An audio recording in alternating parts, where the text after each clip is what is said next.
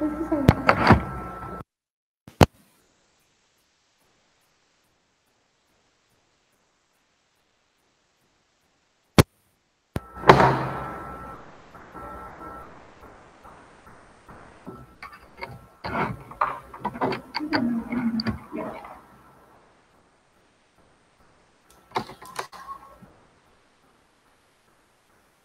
una disculpa. ¿Se escucha?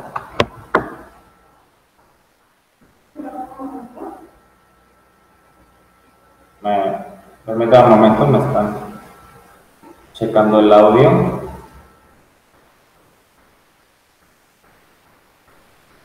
¿Sí se escucha? Ok.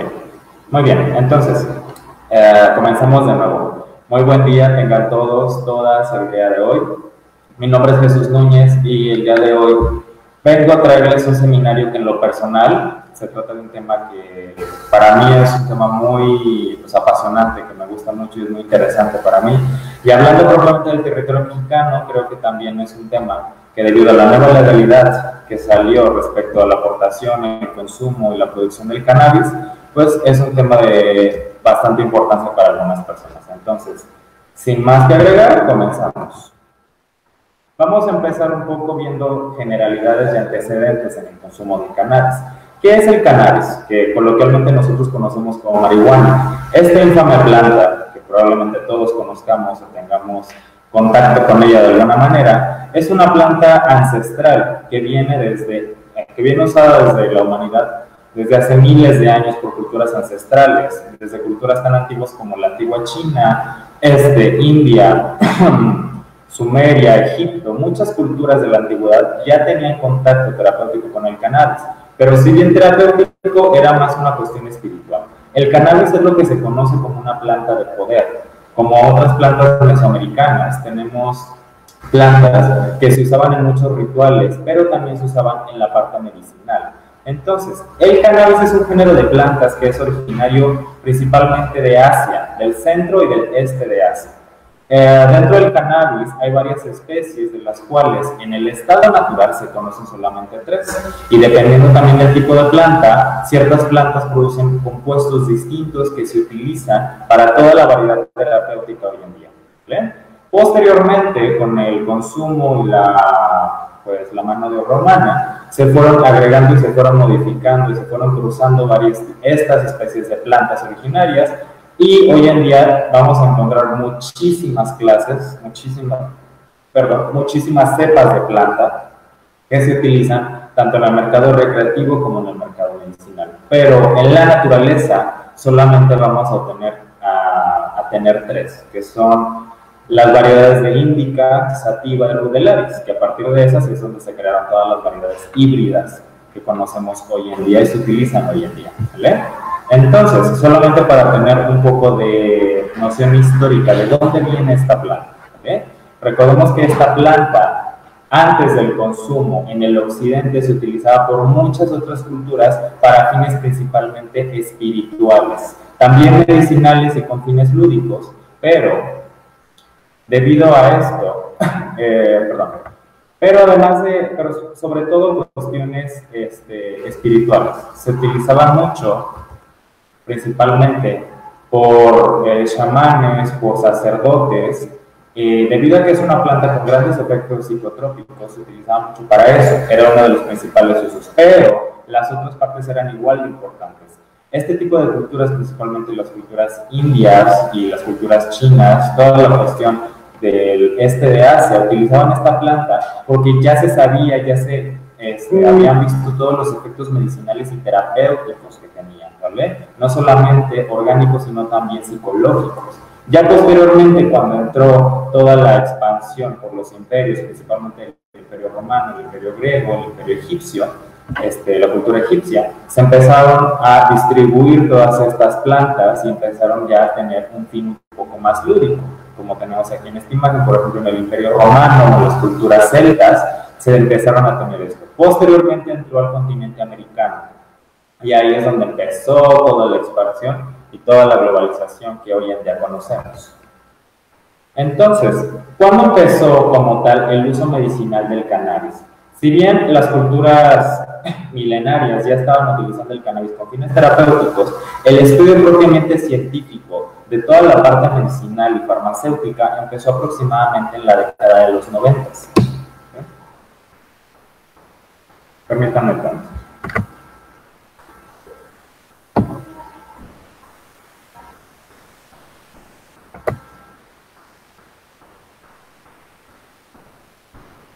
Permítanme un momento. Ahí se ve. Bueno, espero que se da una disculpa por los problemas técnicos. De nuevo. Entonces, todo esto ya lo mencionábamos, toda la cuestión de antecedentes históricos. Entonces me voy a poner aquí. Mencionaba, cuando empezó el estudio clínico del cannabis fue a partir de la década de los 90, principalmente en Israel. Israel hoy en día es uno de los principales precursores en toda la cuestión de investigación farmacológica del cannabis. Posteriormente, Estados Unidos y algunos países de Europa se pusieron a la par. Entonces, a partir de esta década se empezaron a descifrar y se empezaron a estudiar todos los compuestos que había en el cannabis, no solamente para el uso terapéutico, sino también para otro tipo de usos como el recreativo. Y fue durante aproximadamente los principios, las primeras décadas del siglo XX, cuando debido a regulaciones, principalmente por nuestro vecino de arriba, el señor Estados Unidos, vino la prohibición de esta planta. Entonces, fue a partir de estas épocas, que aproximadamente en la década de los 30, 40, cuando entró la prohibición y empezó a satanizarse el uso del cannabis. ¿vale? También debido a que, pues, todas otras cosas sociales y principalmente como la prohibición del alcohol, además de otros movimientos sociales de la época, dieron paso a esto. Después de esto, que fue aproximadamente en las finales de los 80, principios de los 90, empezó a retomarse toda la cuestión de estudio de esta planta y fue a partir de ahí donde empezamos a tener de nuevo apertura en el campo científico y clínico para esto. Hoy en día, el cannabis es una planta ampliamente extendida que, pues, debido a todo este transcurso de la pandemia y todas las opciones terapéuticas que están saliendo y están reluciendo, el cannabis no es excepción. Vamos a ver muchísimos activos, muchísimos compuestos, muchísima popularización de compuestos específicos del cannabis. Pero, si bien hay parte de verdad, también hay muchos mitos y tenemos que saber qué tenemos o qué estamos consumiendo y cómo lo consumimos. Porque si bien el cannabis es una planta maravillosa, si no se trata bien y si no se manipula correctamente, a veces nos puede causar efectos pues más nocivos que benéficos. Entonces, el efecto medicinal y pues básicamente todo el estudio medicinal del cannabis se ve principalmente por el estudio del sistema endocannabinoide. Dentro de nuestro cuerpo tenemos una red de receptores infinitas en muchos sistemas del cuerpo que son sensibles a sustancias que nosotros producimos, pero también sustancias que podemos encontrar en la naturaleza y hablando de esto, sustancias que contiene el cannabis. Es por eso que se le dio el nombre de sistema endocannabinoide, porque es un sistema interno. Espérame, ¿no?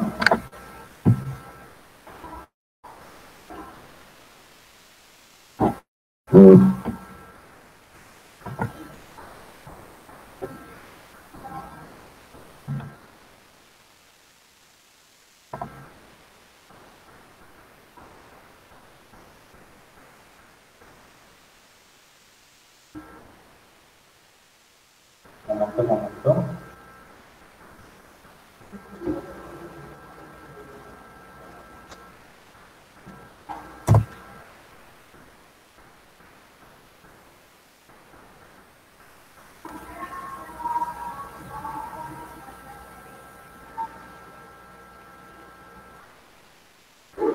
92 por favor.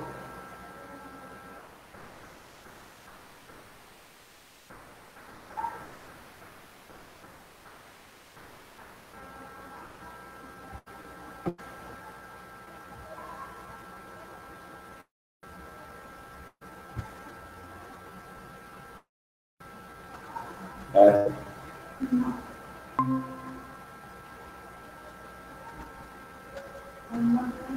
you.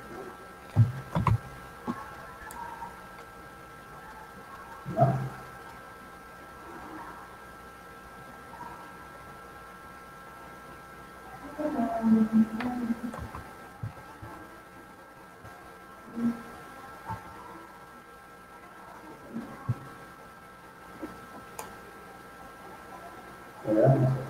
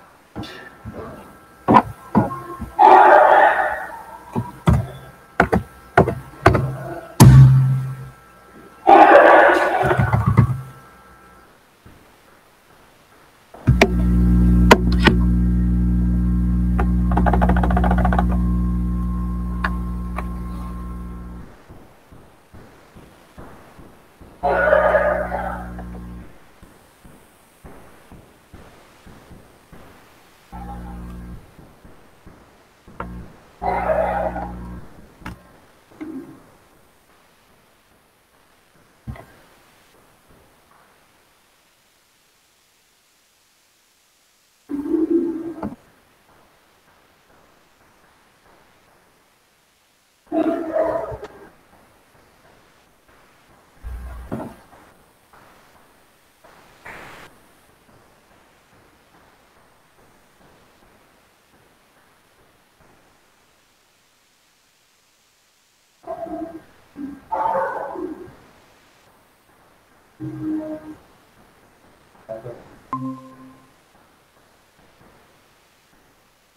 ya una disculpa por pero bueno. Entonces mencionaba, el, el estudio medicinal del cannabis empezó a profundizar a partir del estudio de un sistema propio de receptores que tenemos en todo el cuerpo, que es el sistema endocannabinoide. Este sistema es afín a las moléculas que encontramos en el cannabis, justamente por eso se le da el nombre. ¿vale? Entonces, dentro de este sistema, nosotros vamos a tener dos tipos de receptores principales. Tenemos receptores CB1 y CB2, cannabinoides 1 y cannabinoides 2, que van a estar distribuidos en varios órganos y sistemas de nuestro cuerpo. A raíz de esto, y dependiendo de la afinidad de ciertas sustancias terapéuticas que encontramos en el cannabis, es de donde nosotros tenemos los efectos. ¿vale? Y justamente a partir de esto es que todo el estudio medicinal de esta planta se ha formado y se ha dado. Si nosotros buscamos la bibliografía actual, ya tenemos grandes estudios y grandes, este, muchas referencias científicas que corroboran esto. Entonces, dentro del sistema endocannabinoide tenemos receptores en muchos órganos, dentro de los cuales vamos a tener los efectos como ya mencionaba. Entonces, la estimulación de estos receptores lo que va a dar es mejorar ciertos procesos metabólicos o celulares dentro de nuestro propio cuerpo, ¿vale? Esto es propio de los seres vivos, no solamente nosotros tenemos sistema endocannabinoide, también muchos mamíferos tienen un sistema endocannabinoide, como los gatos y los perros, por ejemplo, pero ellos tienen más cantidad de receptores, así que son más afines a estas sustancias. Entonces, dentro de muchos de los órganos que tenemos que tienen este tipo de receptores, dentro de los principales está el sistema nervioso central. En esta imagen, espero se pueda ver, podemos ver justamente la cantidad de, canal, de receptores que tenemos en ciertos órganos. Por ejemplo, tenemos más receptores CB1 en sistema nervioso central y en órganos del tórax como este, corazón, pulmones y otros órganos como útero y algunos músculos, músculo esquelético principalmente. Y tenemos receptores CB2 principalmente en órganos periféricos, principalmente sistema digestivo. Entonces, esto lo que va a hacer es, dependiendo de esto, vamos a tener efectos terapéuticos que van a actuar y efectos fisiológicos que van a desencadenarse en todos estos sistemas diana.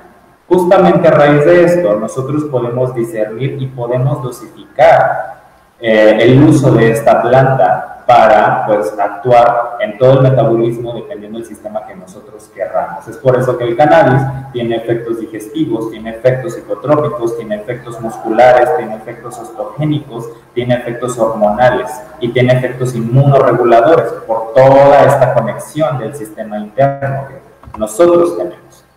Entonces, ahora sí, ¿cuáles son los compuestos que vamos a encontrar en esta planta?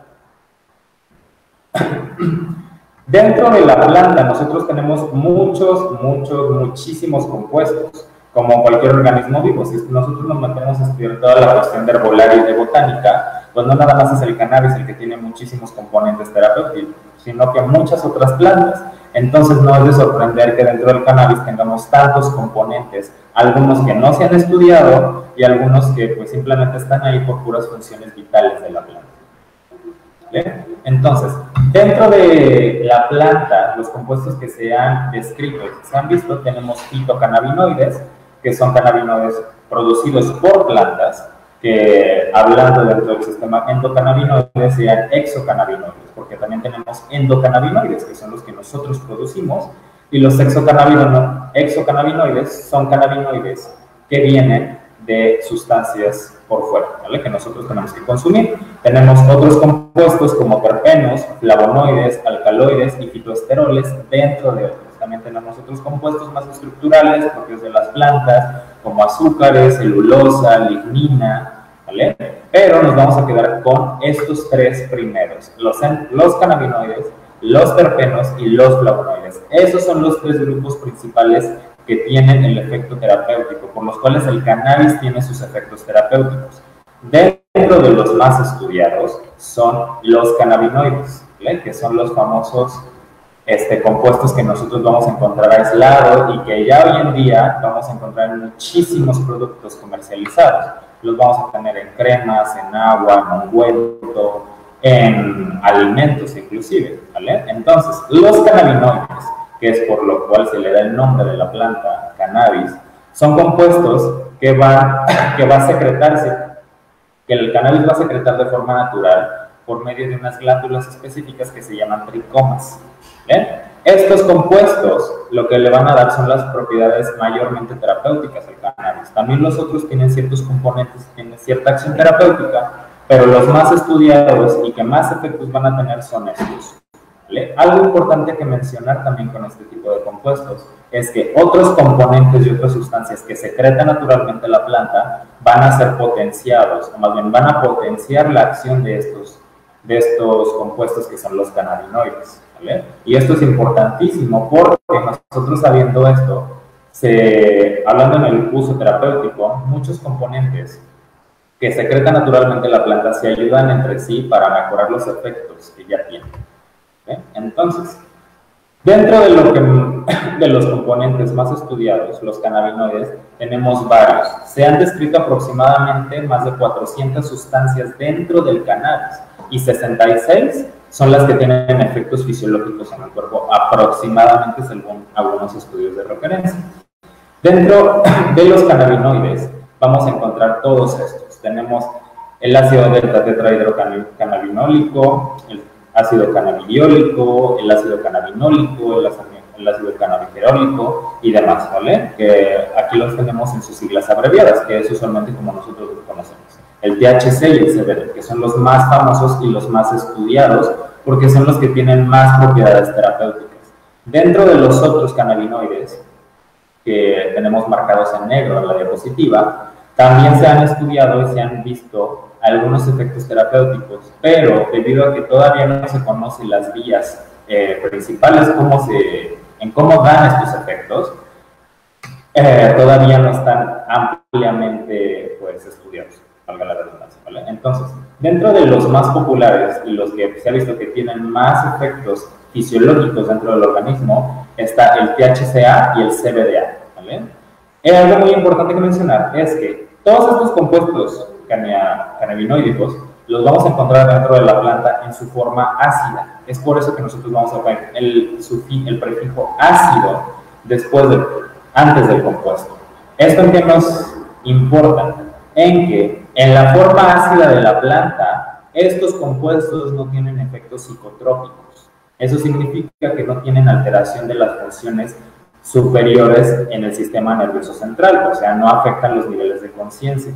Esto es bien importante porque muchos piensan, y se ha popularizado, y esto viene a gran parte de la prohibición que hubo en, la en el siglo anterior del cannabis, que la planta por sí sola es una planta que induce eh, estados alterados de conciencia cuando no es así. La planta cruda contiene todos estos componentes que ya tienen un efecto terapéutico, pero no tienen un efecto tan fuerte en el sistema nervioso central. Así que esto es importante a la hora de dosificar y a la hora de hablar específicamente de la terapéutica, porque nosotros podemos darle una planta cruda en un jugo, en una ensalada, en muchas otras formas de aplicación, en un oleaje, en una alcoholatura, y ya tenemos medicina, ¿vale? Ya tenemos efectos terapéuticos sin causar efectos en el sistema nervioso central que alteren la conciencia. Esto es muy importante y pues creo que es bastante bueno recalcarlo. Cuando estos componentes se calientan es cuando pierden la forma ácida y pasan a forma alcalina. Y aquí es donde se convierten, perdón, en todos los compuestos que nosotros conocemos, que es el THC y el CBD porque en la planta se encuentran como THCA y CBDA, ¿vale? Dentro de todos los demás compuestos cannabinoides. Entonces, dentro de los dos principales y los más populares que vamos a encontrar ampliamente comercializados hoy en día, que es el THC y el CBD, vamos a encontrar que cada uno tiene ciertos efectos fisiológicos. El THC, que es la forma alcalina del THCA, se ha visto y se ha comprobado que tiene efectos antiinflamatorios que tiene efectos psicotrópicos. Esto significa que el THC es la molécula del cannabis que nos va a producir los efectos de alteración de conciencia. Los efectos lúdicos por los cuales se conoce al cannabis, todos los efectos, pues básicamente que nos ponen felices y entre otras cosas, vienen a raíz de esta molécula solamente en su forma alcalina, no en su forma ácida, recordemos. Dentro de los efectos que vamos a encontrar en el cuerpo, tiene efectos analgésicos, ayuda a mejorar el dolor, efectos que se han visto que mejora la apoptosis de células cancerígenas, que son efectos antitumorales, efectos orexígenos, o sea, mejora el apetito, efectos antiepilépticos y efectos antiespasmódicos. O sea, el THC es una molécula que tiene toda esta amplitud de, este, de rangos terapéuticos y nosotros podemos utilizarla en todas las patologías que contienen esto. ¿vale? Por otro lado, el CBD, que es el cannabidiol, que es la forma alcalina del CBDA, tiene efectos que no son psicotrópicos, tiene más efectos relajantes. Y dentro de esto vamos a tener que produce mejora en cuadros antidepresivos, tiene efectos vasodilatadores periféricos. También es por eso que cuando nosotros consumimos cannabis o marihuana y tiene una, en una cepa rica en CBD, nosotros tenemos esa sensación de calor, por eso, ¿vale? Dentro de otros efectos tenemos efectos antiansiolíticos, efectos antiinflamatorios y analgésicos, efectos antieméticos, o sea, ayuda a mejorar o a disminuir la, perdón, el efecto de vómito, la sensación de vómito, efectos también antitumorales, efectos inmunomoduladores, efectos osteogénicos, antioxidantes, y también es un neuro, neuroprotector y es un relajante muy fuerte. Entonces, dentro de los dos compuestos principales y más estudiados del cannabis tenemos esto. El THC y el CBD son moléculas muy afines a los receptores CBD1 y CBD2. Principalmente el THC es más afín a CBD1, que son receptores que, como mencionaba antes, tenemos más en sistema nervioso central. Es por eso que cuando nosotros consumimos tenemos todos esos efectos psicotrópicos. Dentro de los otros cannabinoides que tenemos, que estos son algunos de los principales, vamos a tener otros tipos de efectos terapéuticos también, que dentro de estos se encuentran efectos que también este, ayudan a la relajación muscular, ayudan a la homeostasis lipídica, o sea, ayudan a reducir y controlar los niveles de colesterol. También tenemos efectos antibacterianos, antifúngicos, antiinflamatorios, antidepresivos. Tenemos muchísimos efectos que se han comprobado y que se siguen estudiando porque el cannabis, como muchas plantas, tienen muchísimos compuestos y estudiarlos de forma aislada no es tan sencillo, porque también algunas de las, las vías metabólicas por las cuales este, tienen su farmacocinética, no, este, su farmacodinámica, no se han descrito tan específicamente. Entonces, todo esto es lo que ya se ha comprobado, pero todavía hay más y se sigue estudiando. Entonces, nosotros sabiendo esto ya tenemos un poco más, un panorama general de lo que contiene una sola planta. Entonces, Dentro de otros compuestos terapéuticos que vamos a encontrar en la planta, que también no son muy estudiados y no son tan popularizados como los cannabinoides, que son de por o sea, propiamente unos compuestos maravillosos de los cuales tenemos muchísimos efectos terapéuticos benéficos para nosotros, son los terpenos. Si algunos de ustedes ya conocen un poco más o tienen un poco más de camino andado en herbolaria y cuestiones de botánica, eh, este, estos compuestos no, son, no serán desconocidos para ustedes. Para los que no, se los presento, porque estos compuestos orgánicos, que son derivados de una molécula que se llama ácido mevalónico, que es una molécula que es necesaria para toda la síntesis celular y molecular, son compuestos que se van a encontrar principalmente en plantas. También los producen animales y algunos microorganismos como bacterias, pero las plantas son las que las sintetizan a mayor cantidad. Los terpenos son compuestos que van a sintetizar muchos tipos de planta y estos este, los utilizan principalmente para protección ambiental, también tienen una función de protección para herbívoros y, atrae ciertos polinizadores. Los terpenos son los que les dan la propiedad aromática a las plantas y hablando del cannabis es lo que le da el olor particular al cannabis. Entonces, ¿cuáles son los efectos que tienen estas, estos compuestos?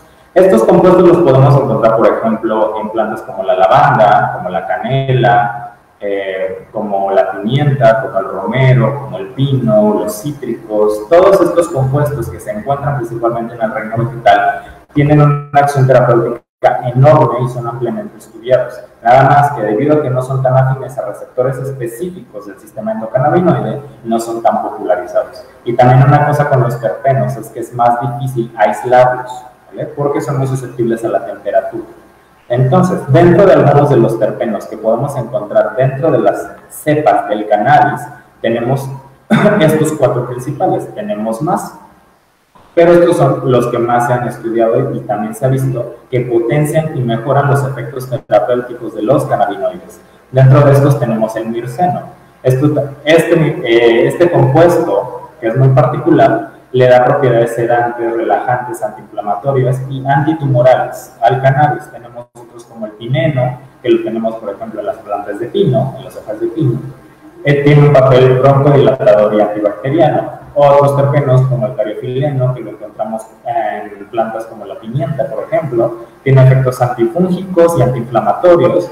Y otros, como el limonelo, que se lo vamos a encontrar sobre todo en cítricos también, tiene efectos antibacterianos, antitumorales, antidepresivos y antiazolíticos. Entonces, perdón, todos estos compuestos que naturalmente ya tiene la planta ayudan y le dan todos los efectos terapéuticos, además de lo que tienen los cannabinoides. Y por otro lado tenemos otro grupo de componentes igual de importantes que estos no son tan ampliamente estudiados, que son los flavonoides. ¿Por qué? Porque estos los producen la planta en una menor cantidad.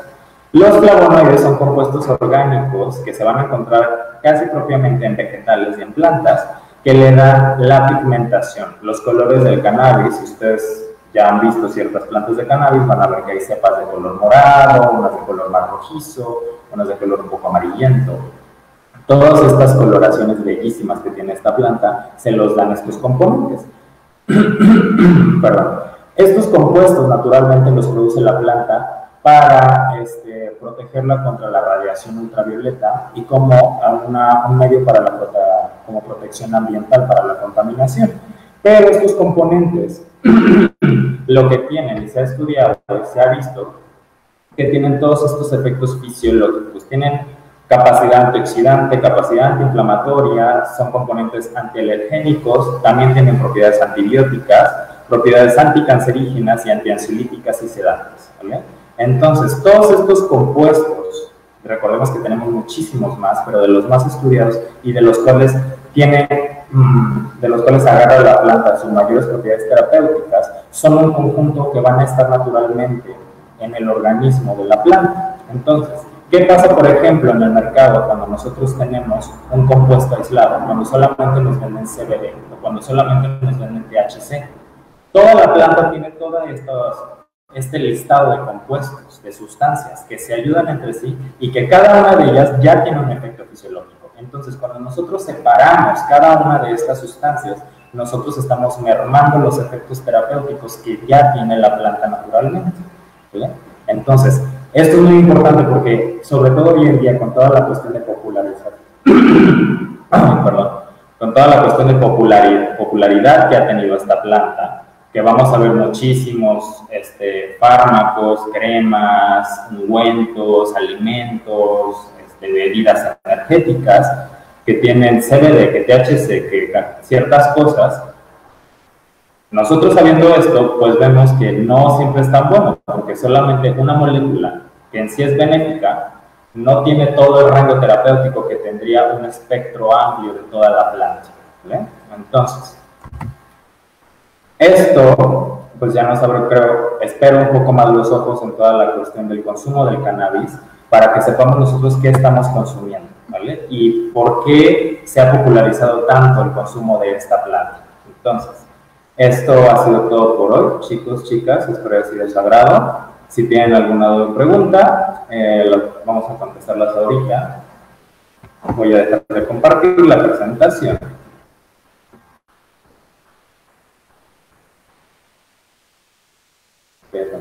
Tantito. Y voy a contestar las preguntas que tenemos. Entonces. artrosis. Ok, nos pregunta. Tipo de cannabis para la artrosis y depresión. Ahora, Qué bueno que me hicieron esta pregunta. Porque el cannabis es una planta, no es un fármaco. El cannabis tiene muchos componentes dentro de ella. Y esos componentes, como ya vimos, tienen efectos antidepresivos, relajantes, analgésicos, antiinflamatorios. Todos estos compuestos nosotros los utilizamos para mejorar cuadros patológicos. Por ejemplo, aquí nos están preguntando de artrosis y depresión. Una persona con artrosis tiene cierta sintomatología, tiene cuadros inflamatorios, por ejemplo, tiene cuadros dolorosos, tiene limitación de la movilidad, tiene retracciones musculares.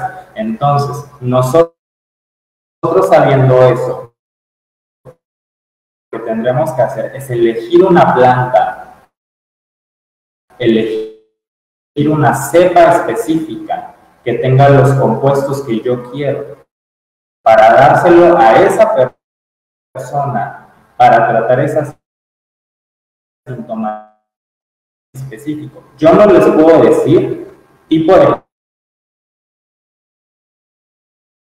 Porque si ustedes se meten a estudiar y empiezan a ver todo el mercado canábico, es enorme. Enorme.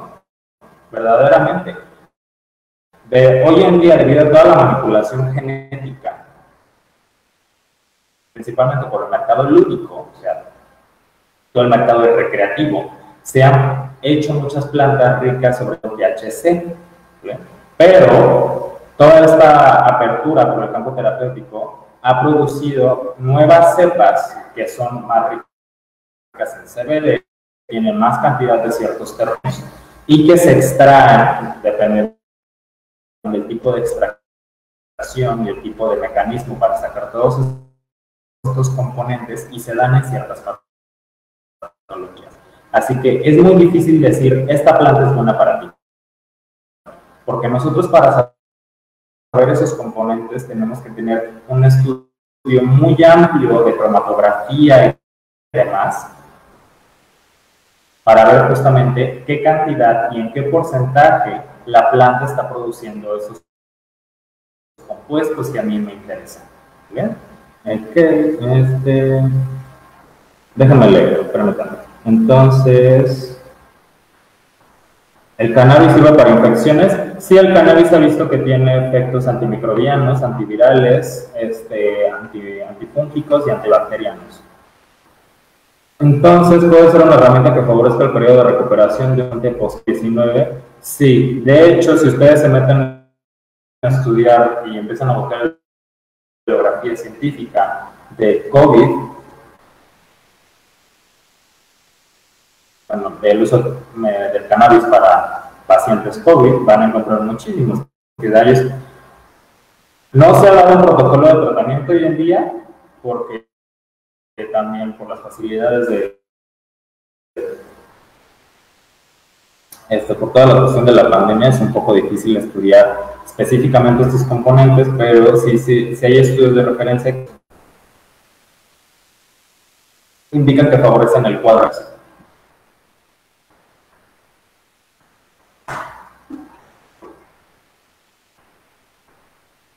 Bueno, espero que lo escuchen. Este, para artritis, sí, ya mencionábamos que sí.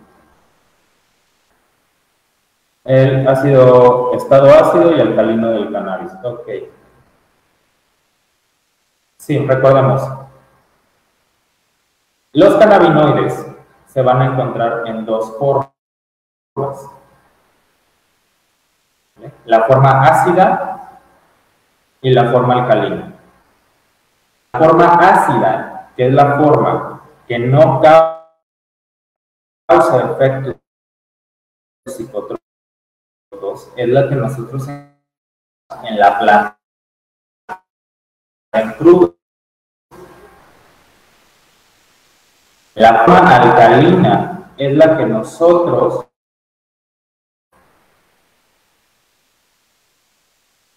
obtenemos después de ponerla, poner esos compuestos en calor. ¿Vale? Y ya los efectos que tengamos uno de otro difieren. Eh, los tres tipos de especie de planta, eh, indica, sativa y rudelaris, que hoy en día tenemos un chorro de híbridas por toda, toda la manipulación genética. Dolores musculoesqueléticos, ok. Miren, toda la cuestión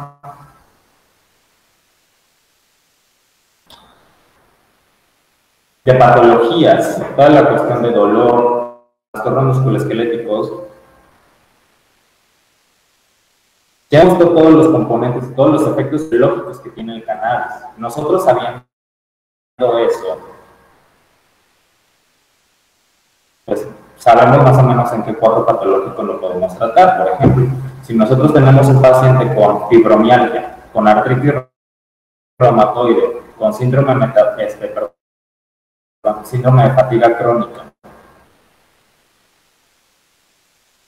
eh, dolor musculoesquelético generalizado, algo tan simple como una contractura muscular que tiene sintomatología parecida. Nosotros, viendo los efectos que tiene la planta y los componentes, podemos dar una misma cepa para todas esas patologías que tienen cuadros sintomatológicos igual parecidos. ¿Bien? Entonces, si, me preguntan qué planta para un paciente con artritis, para un paciente con fibromialgia, pues sería muy difícil saberlo, simplemente tengo que buscar una planta que tenga los componentes que, yo quiero, que, sé que tienen los efectos para el cuadro patológico que quiero tratar. Muy bien. Entonces, soy rehabilitador eh, y cuento con algunos pacientes post-COVID. Deseo realizar un